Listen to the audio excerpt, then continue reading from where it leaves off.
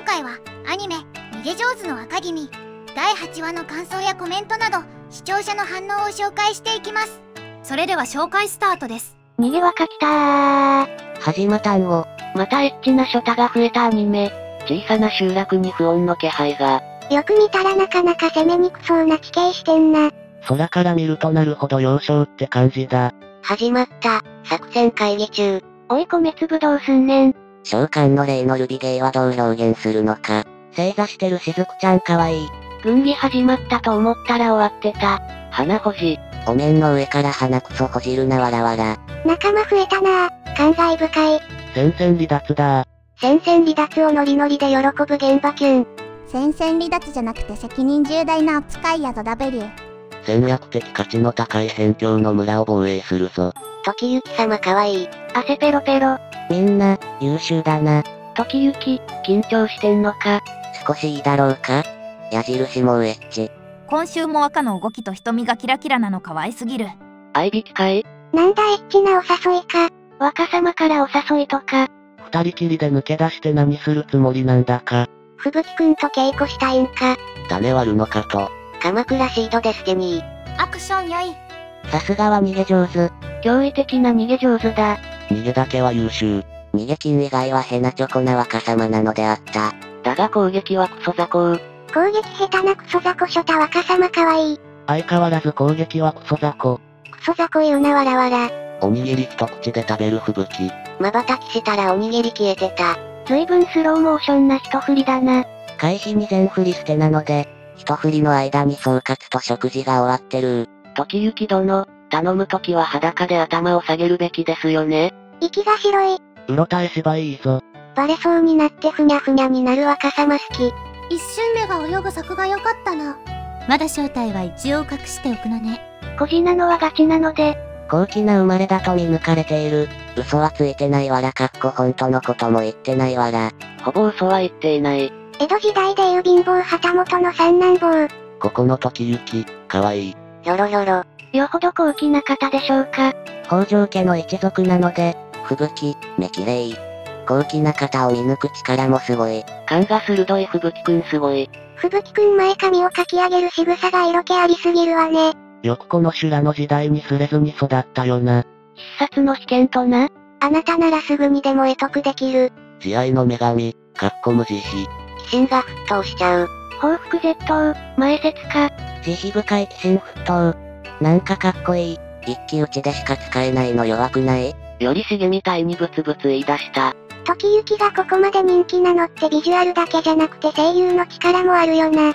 長寿丸殿。って明るい声で言うの可愛すぎる。クソで顔握り握手。米べっとり。にちゃ米は力。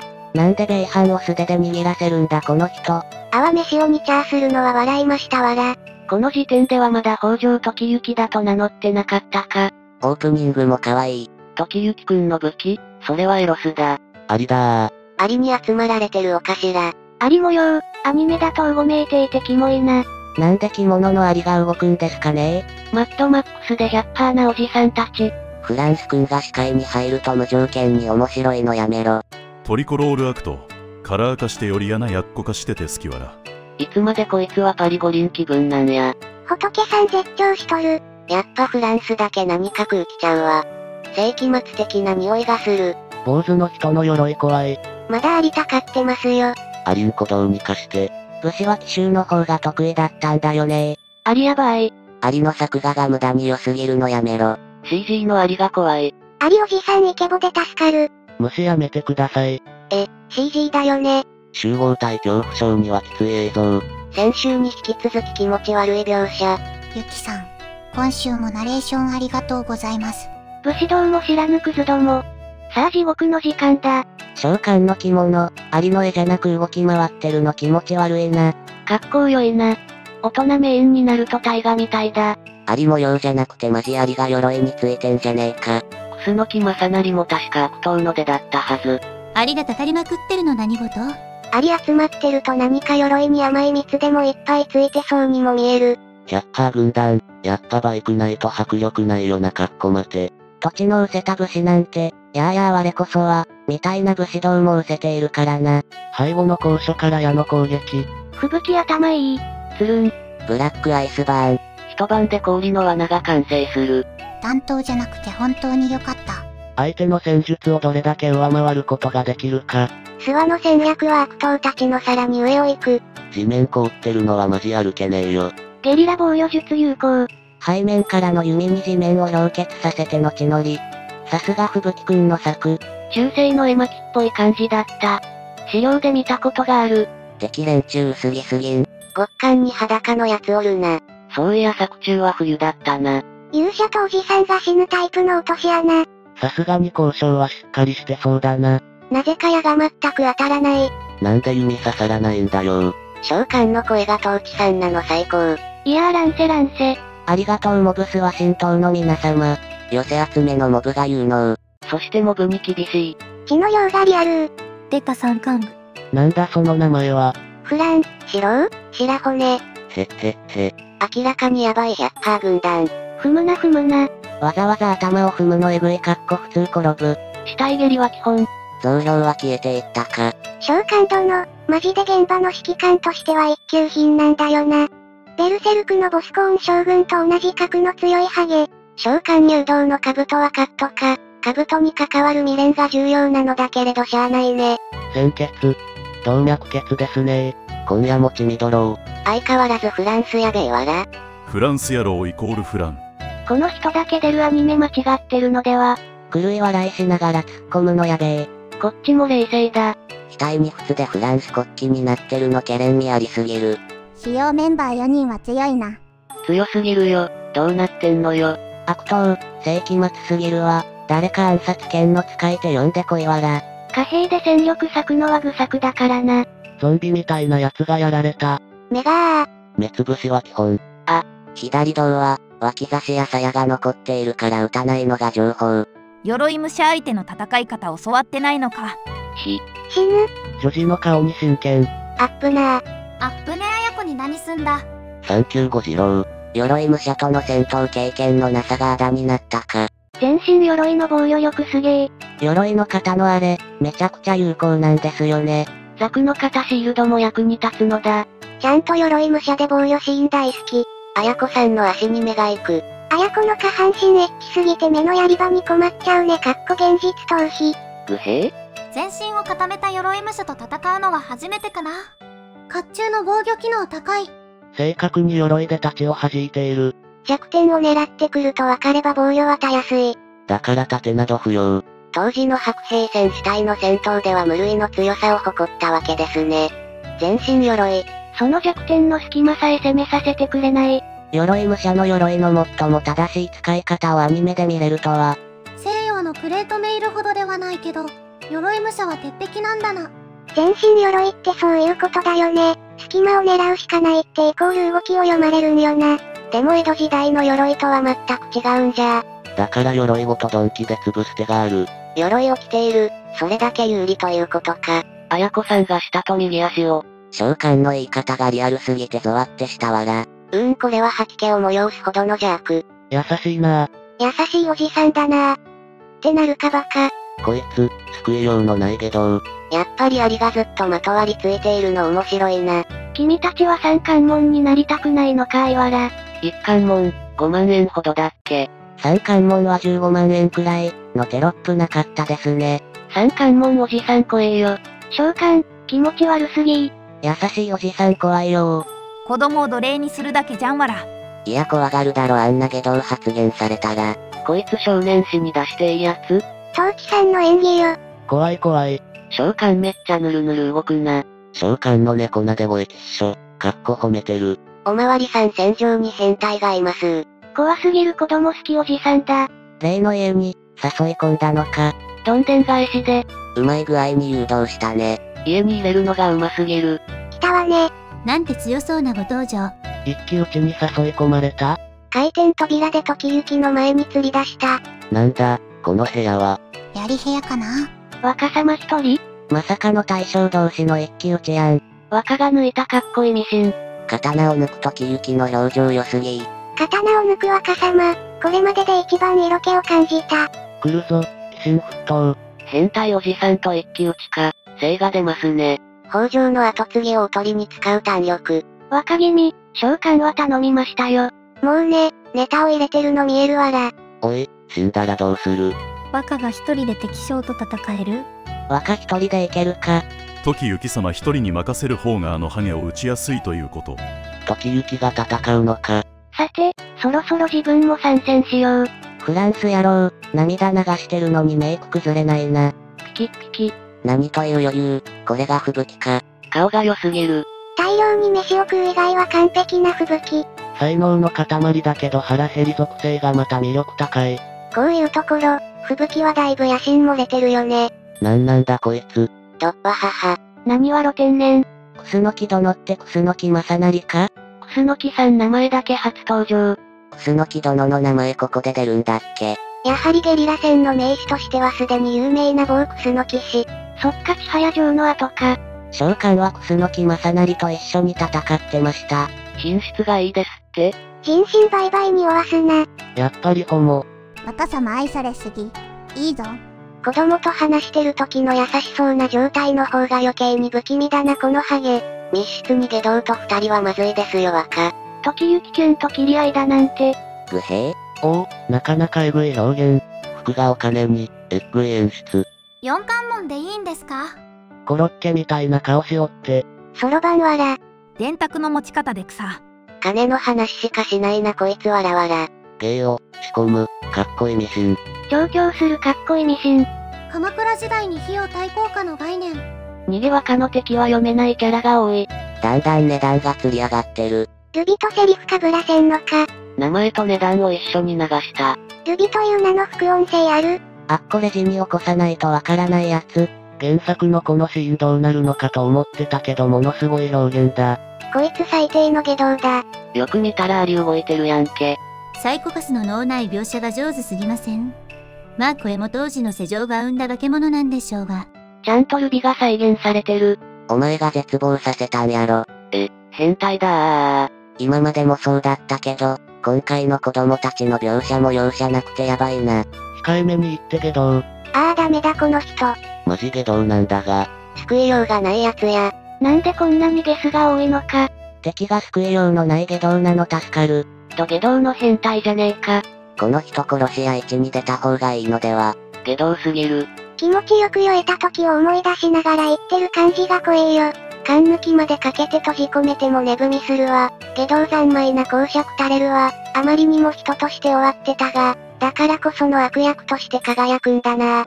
トーチさん史上最下道でしょ。変態さんかっこいい。召喚役の人の演技が良すぎる。遠慮なく殺せるやつでよかった。心置きなく命を奪える。ちょくちょく声が二重に聞こえるのが気になる。長寿丸か、なお原作ではめちゃくちゃくどいルビが振られました。長寿丸かっこ三関門。急に武者になるな変態。急にまともになるなわらわら。胸のありゆく見たら動いてんじゃん。この当時は太刀につば刀を添えて刺す時代。あるいは、太刀を残し、鎧通りは別。このひとときは、君の勇気に敬意を表し、商品としてではなく武士と見て口調が変わった。こちらも抜かねば無作法というもの。本気モード入ったわね。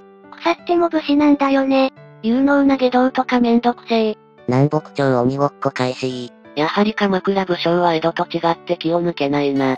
急に武士っぽくなったと思ったけど下道は下道だった。北斗の剣出てきそうな奴らばっかりよな。最初に殺す方を品定めと、槍を相手にするのはさすがに厳しくない？クロス入刀。これを避ける城やばいな。巫女の破れ袴へ、白骨は倒せたのに。綾子ちゃんと小次郎、攻撃も煽りも息ぴったりすぎるな。べえ、あかんで可愛い。くっそ楽しそうでよかった。なんでこいつはフランスの三色旗を顔につけてるんだ？まだこの頃ってフランス国旗なんてなかったはずじゃ。かっこフランス国旗はフランス革命の時にできたので、あと額に普の字があるけど、まだこの時代は仏ではないのか？吹雪くん、イケメン。吹雪殿、顔が良すぎる。吹雪楽しそう。吹雪、読み取った。敵の強さも把握している。すごい観察眼。本当に強いのは、100%の方か。そうなんだ。フランちゃんの空気が変わった。本気の表情。一番ふざけた見た目のやつが一番強い。この感じで一番強いのバグだよな。フランス、あの振る舞いはわざとだったか。フランスフランが強いんかよ。通りで最初から癖強いと思った。フランスのやつが一番ヤバいのはなんか草。仏の百科系がかっこよくなっただと？ネタ枠がまさかの最強キャラ。世紀末百科が一番強いのか。狂人に見せかけた達人。この見た目で四天王の中でも最強。武士は屋内戦にも備えていると、だからさっき長い太刀を放棄したのね。室内戦用内刀。これが南北朝ヤンキーソードああ、やはり内刀か。ちなみに内刀が今の世に日本刀と呼ばれるものだな。説明は敗北フラグだぞ。てめえはもう終わりだ。油を敷いてる。生病法とはそなたのための言葉かっこいい。室内こそ赤の独壇場じゃないあなたの武器は優しさです。攻めるより受けるが得意または攻めより一形。つまり左側ではなく右側。攻めより受けのが得意の若様の薄い本が出てしまう。優しさで人を切る。前切った叔父上も兄上の仇だったし。優しさこそ強さ。その真意とは、時行くんに一番適した剣術の構えとは、この構え大好き。優しさこそ人を切るのに最適。本日の名言、必殺、維新沸騰。切り捨てごめんね。の構え。無駄無駄無駄無駄。仏様はね、いないんだよ。マジかよ仏様いないなんて。神も仏もあやしない。かっこ自落。ハイター様。フリーレンで神様はいます言ってた声優さんが、逃げ若で仏様はいないんだよーって煽る不条理わら。優しさで刀を振るう。たとえ人たちでもそれで致命傷を与えられればいいわけだもんな。やったか。やったのか。時行様の攻撃が当たった。血の量やばい。引きコテかなカウンター系酸欠起こして手元間違えて腕切ったとか？今の時行の後ろ姿、頼もしすぎる。美味しそうな美少年を目の前にハーハーしてる危険なおじさん。この辺りの銅から性の呼吸の変化は息を飲むレベルだった。おい、そこで終わるなよ。ざまあねえな。次で倒せるか？こんやろ、何が起こったかは来週ってか。ここで引き換えいいところで。すっげえいいところで鎌倉ダンスするじゃん。毎週良いところで終わりすぎやん。いや、もう見入ってて気づいたらエンディングだよ。召喚そこにいたの。今気づいたわ。召喚は東地弘樹さんでよかったと思える演技だわ。それにしても、あの百科しそうなのが一番強いとはな。兄上。どうやって一撃入れたかは来週か。次回、誰がいざって言ったのかわからん予告。私の仏様。私に仏様が舞い降りた？わたほと。優しさの剣術とは、相手を生かしたまま行動不能にする、でいいのかな？かっこ実は一番非道である。動脈切って出血多量で力尽きるまで逃げるってこと？確かに先行としてはぴったりだな。優しさの一振りと見せかけてなかなかにえぐくない？逃げ若見た。この下道に勝つことができるのか時行き。今週は戦術が見事。後方から弓を放つ伏兵はあえて放置する方が被害が少なくなるとか、鎧や兜の防御面の話とか聞いてて面白かった。召喚にダメージを与えているような演出があったところで終わりだけれど続きが気になる。命がかかった戦いで緊張感がえげつなくて、一瞬が永遠に感じるくらい画面に吸い込まれるのに、前は面白すぎて楽しすぎて放送時間は一瞬に感じてしまうこの不思議な感覚は何なんだ？どの瞬間も芸術的に美しい。あやこちゃんの袴の構造が気になって眠れない。吹雪会めちゃくちゃかっこよかった。そして召喚の気持ち悪さと嫌悪感にゾワッとした。逃げ上手の若君第8話。圧倒的な盗賊侍集団を相手に、貨幣と子供だけで挑む防衛戦。今回もなんカットか書き手のセンス全開の絵が入っていて見応えあり。作画が高度に安定しているからこそこういう変化球がグッとくる。なんだ、どうやって切ったんだ、展開も映像も、規格外で行きつけない。8話まですごいレベルで突っ走ってるなアニメ終わったら原作も買おうと決意した。今週の逃げ若も面白かったな一体どこまで面白くなるんだこれ。吹雪くん大活躍で最高でした。